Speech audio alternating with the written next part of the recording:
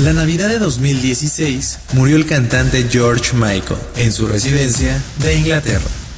Es considerado un icono pop tanto por su carrera en el grupo Wham como por sus álbumes de solista y fue un activista por los derechos de la comunidad LGBT. Lo recordamos por canciones como Faith,